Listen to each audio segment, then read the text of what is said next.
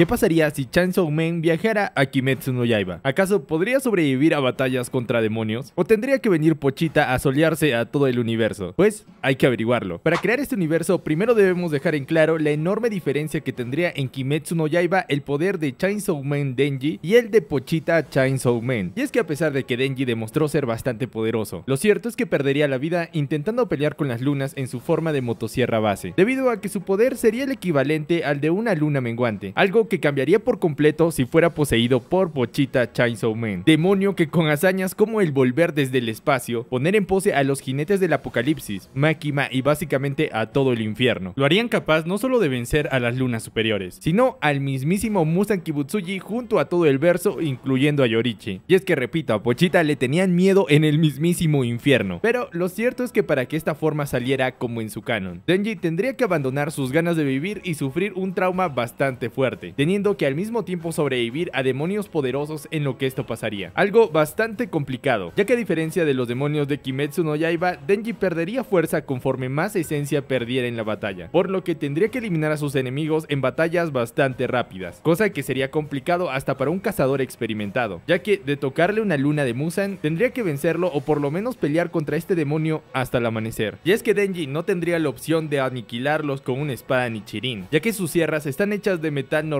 y no tendrían ningún efecto en los demonios, por lo que en cada una de sus batallas Denji se tendría que apoyar de una pequeña espada Nichirin, con la que se defendería de los demonios de este universo hasta que saliera Pochita, demonio que como podría terminar este anime demasiado rápido, me obligó a crear dos escenarios en los que él se papearía a todos, el primero Denji viajando a la era Sengoku, y el segundo Denji viajando a la era Taisho, el presente de la historia original. Pero antes de comenzar, por favor suscríbete y activa la campanita en todas, que sé que muchos de ustedes que ven estos videos no están suscritos, así que suscríbete que te voy a traer más de estas historias. Y agrégame a WhatsApp, ahí les subo spoilers de los siguientes videos, miniaturas y nunca te vas a perder de ningún video. Agregarme es fácil, solo ve al link que está en la descripción. Denji viaja a la era Sengoku. Esta historia comenzaría con Denji luchando contra varios demonios, siendo observado por Demon Slayers, los cuales, consternados por la naturaleza demoníaca de Denji, su inmunidad al sol y su pronta transformación en humano de nuevo, lo llevarían directo a la cofradía, lugar donde al notar que era una persona normal sería probado por Yorichi, personaje que lo entrenaría como cazador de demonios. Pero claro que Denji no trabajaría gratis en la cofradía, y es que tras pedirle dinero y mujeres a Yorichi, este le ofrecería una paga razonable, seguido de prestaciones como un techo donde vivir y también comida ilimitada, los cuales saldrían de su propio bolsillo, acción que en el futuro le harían sentir a Denji un sentimiento de agradecimiento bastante fuerte, suceso que produciría enojo y asco en Michikatsu, quien al ser un samurái en toda regla, se sentiría insultado de compartir título con alguien con motivaciones tan banales como Denji, ya que estaría al tanto que se convirtió en cazador de demonios exigiendo dinero y mujeres, cosa que le parecería una completa blasfemia, sucesos que como en el canon lo impulsarían a aceptar la oferta de Musan convirtiéndose en Kokushibo, demonio que se pondría la misión de eliminar a Denji junto a toda la cofradía. En fin, tras masacrar a varios cazadores, la cofradía expulsaría injustamente a Yorichi, algo que a Denji le parecería totalmente injusto, y lo haría patear en zonas nobles a los cazadores del lugar, mientras que Pienso Furioso amenazaría con rebanarlos, por expulsar a la única persona que lo trató con bondad desde que llegó, siendo detenido en ese instante por Yorichi, quien levantando del suelo a sus ex compañeros le rogaría a Denji proteger de ellos en su ausencia, provocando que Denji muy resentido se fuera sin despedirse. Tiempo después los cazadores serían visitados por Kokushibo, demonio que tras acabar con todos en la cofradía de formas brutales, se quedaría sobre sus restos esperando la llegada de Denji, personaje que aún muy resentido tras volver a la cofradía. Incrédulo por lo que estaba pasando, Denji muy enojado con Kokushibo por el dolor que le produciría a su hermano, se convertiría en ese momento en motosierra, comenzando una batalla en la que la primera luna superior le causaría heridas de gravedad a Denji, mismas que sumadas a la pérdida de sangre por el uso de sus poderes, terminarían con él regresando a su forma humana, siendo brutalmente cortado por Kokushibo, quien viéndolo agonizar lo amenazaría con la idea de acabar con la vida de Yorichi, palabras que en un Denji bastante lastimado, le harían jalar la cuerda de su pecho para irse al más allá aún más rápido, y así no tener que seguir escuchando a la primera luna superior, siendo aquí donde en vez de convertirse en su forma motosierra, saldría Pochita transformando su cuerpo en el Chainsaw Man, el demonio que aterró al mismísimo infierno. En ese instante, como en el canon, Pochita intentaría hacer realidad los deseos de Denji, fijando su mirada directo en Kokushibo, demonio al que consideraría un enemigo, debido a que el deseo de Denji aparte del tener novia sería proteger a Yorichi, siendo en ese instante donde Kokushibo lo atacaría sin ningún resultado, mientras Pochita observándolo fijamente lo confundiría con una mujer por el largo de su cabello, intentando obligarlo a tener una cita con él, siendo rechazado bastantes veces por una muy confundida luna superior, situación que enfadaría bastante a Chainsaw Man, al punto que lo haría devorar de manera brutal a Kokushibo, demonio que sería borrado de la existencia al momento de ser tragado, junto claro a todo recuerdo o rastro de él en la mente de las personas, a excepción de Musan Kibutsuji, personaje que pienso como con Nakima, gracias a su naturaleza de rey demonio podría conservar los recuerdos de su fallecido marido, algo que pienso provocaría que quisiera atrapar a Denji, en busca de transformarlo o bien en una luna o devorarlo para obtener su inmunidad al sol. Luego de su batalla con Kokushibo, Pochita vagaría por el mundo en busca de cumplir los sueños de Denji, hasta que después de aterrar a varias mujeres sería interceptado por Musan, rey demonio que tratando de intimidar al demonio que aterró al mismísimo infierno, comenzaría una batalla en la que él intentando devorarlo para obtener su inmunidad al sol, sería sorprendido por la ferocidad de Pochita, demonio que lo devoraría de formas horribles, siendo su cara lo último que vería Musan Kibutsuji antes de desaparecer de la existencia. En fin, de esta manera se eliminarían la amenaza de los demonios, suceso que produciría que en este canon Yorichi encontrara la felicidad. Y es que sin el recuerdo de Michikatsu, ni la responsabilidad de vivir en un mundo con demonios, habría sido por fin liberado de su maldición, siendo este un final bueno para él, algo que a Denji le devolvería algo de sus ganas de vivir, regresando de esta manera a su universo sabiendo que Yorichi perdería la vida acompañado de seres queridos y de forma natural a una avanzada edad. Y Fin. Denji viaja a la era Taisho. Esta historia comenzaría con Denji transformado en motosierra, siguiendo gritos de dolor que lo llevarían directo a una cabaña con una familia masacrada, lugar donde sería interceptado por Tanjiro, pequeño que confundiéndolo con el que masacró a su familia. Comenzaría una batalla en la que lograría clavarle un hacha, provocando que Denji sin su forma de motosierra lo agarrara a patadas en sus partes nobles, siendo detenido en ese instante por Nezuko Demonio, personaje que habría despertado con su instinto de protección tras observar cómo lastimaban a Tanjiro, siendo aquí donde Denji peleando a puñetazos y siendo mordido sería interrumpido por Giyu Tomioka. Hashira, que intentando eliminar a Nezuko sería golpeado por Denji, personaje que despertando sus recuerdos con Power, defendería a los muchachos transformándose en motosierra a pesar de haber sido golpeado por ellos. Situación que alertaría a Giyu Tomioka comenzando una batalla en la que notaría la naturaleza benevolente tanto en Denji como en Nezuko, noqueando a ambos demonios, diciéndole luego a Tanjiro que buscara a Urokodaki. Ex Hashira que tras notar la naturaleza de ambos demonios aceptaría entrenar a Tanjiro y Denji. En fin, sería así como tras dos años de entrenamiento, Denji a pesar de no dominar ningún estilo de respiración, sí que habría mejorado sus habilidades físicas transformado en motosierra, siendo capaz de mantener esa forma mucho más tiempo sin debilitarse tras perder la esencia roja. Pienso también que Denji se volvería cazador de demonios solo por el afecto que desarrollaría por el ex Pilar, sintiéndose bastante agradecido por recibir techo y alimento, ya que por el momento no tendría ninguna motivación de dinero o mujeres. En fin, sería así como junto a Tanjiro acabarían con el demonio de las manos,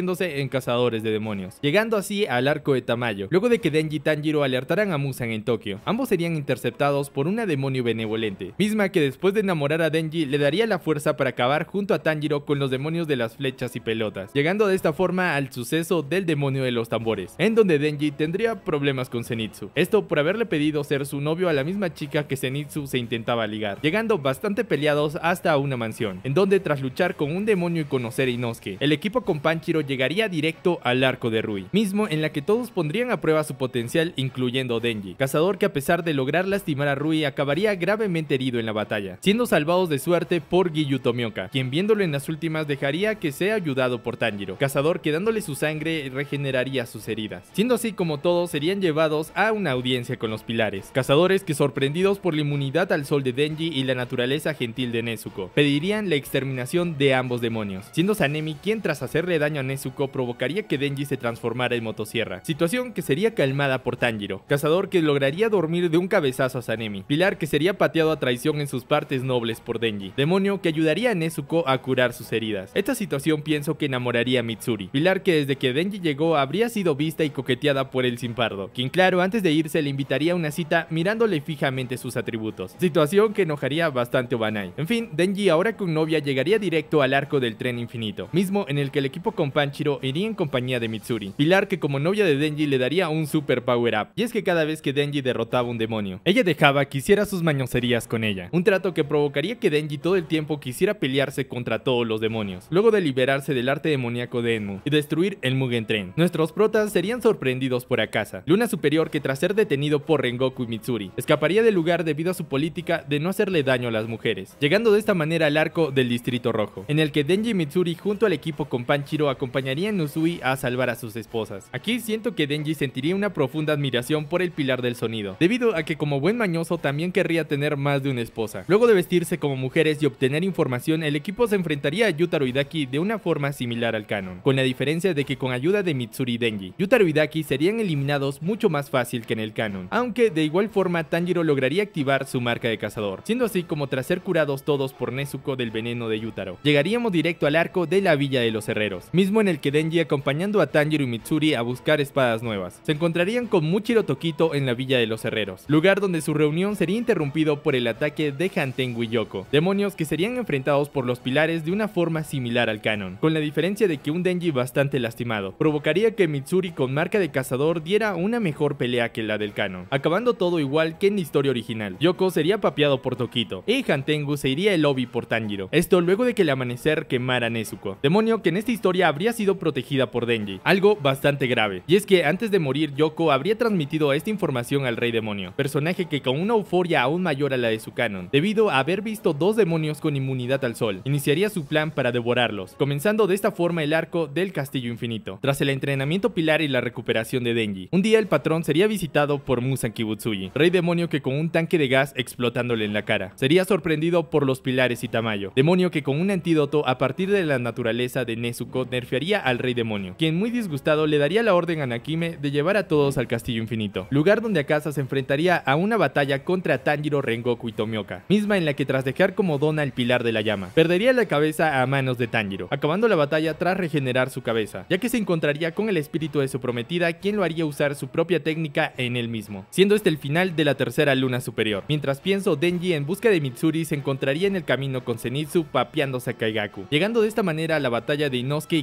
Contra Douma, misma en la que Denji se aparecería por accidente, comenzando aquí una batalla muy parecida a la que vimos en el canon, y es que Douma se encontraría bastante nerfeado, al haberse envenenado tras devorar a Shinobu. Pienso que Denji en esta batalla acabaría al borde de la muerte, moviéndose al final de esto solo por inercia en busca de proteger a Mitsuri. Mientras tanto, en otro lado del mapa ocurrirían los mismos sucesos del canon con la batalla de Kokushibo, tras dejar sin una mano al pilar de la niebla. La primera luna superior sería enfrentado por Sanemi Himejima, pilares que lograrían acabar con el demonio tras el sacrificio de Tokito y Genya, cazadores que perderían la vida mutilados por la primera creciente, llegando de esta forma a la batalla final, misma en la que Musan tras aniquilar a Tamayo comenzaría una masacre contra todos los cazadores y Hashiras, siendo Mitsuri una de las más afectadas tras perder un brazo, recibiendo bastantes heridas de gravedad. En este punto siento que Denji observaría la muerte de Mitsuri en los brazos de Obanai, cazador que también estaría gravemente herido. Pero ¿por qué darle tremendo desarrollo de personaje a Denji? Pues para que mostrara todo su potencial, Denji tendría que sufrir una profunda tristeza y un trauma bastante poderoso, por lo que la muerte de su amada sería ideal para que éste perdiera sus ganas de vivir. Regresando a la historia, pienso que Denji regresaría a su forma normal para estar con Mitsuri, siendo en ese instante regañado por Obanai, quien tratando de regresarlo a la batalla jalaría la cuerda de su pecho en busca de transformarlo en motosierra, trayendo por accidente esta vez a Pochita, el verdadero Chainsaw Man, demonio que tras ver a Obanai perder la vida junto a Mitsuri, sentiría un profundo odio hacia Musan Kibutsuji, ya que vería a este sujeto como el que le quitó el sueño de tener novia a Denji, siendo así como Pochita atacaría al rey demonio asustándolo al punto de que Musan ordenaría a Nakime enviarlo al espacio, técnica que no tendría ningún resultado, ya que Pochita regresaría a la Tierra directo a devorarse al rey demonio, mismo que tras ser inquirido sería borrado de la existencia junto al castillo infinito y todos los demonios, llegando así al final de esta historia, con Pochita regresando a su universo resignado a buscarle novia por la fuerza de Denji, atormentando meseras en su mundo, y fin. Gracias por llegar al final de este video, si te gustó ya sabes que puedes demostrármelo dejándome un buen like, ya sabes que puedes agregarme a Instagram y WhatsApp, los links te los voy a dejar en la descripción. No olvides comentar el qué pasaría si que quieres que haga en el próximo video. Y si te quedaste con ganas de más, recuerda que el canal está repleto de qué pasaría si, solo date una vuelta. Nos vemos en la próxima, los amo 3 millones. Bye.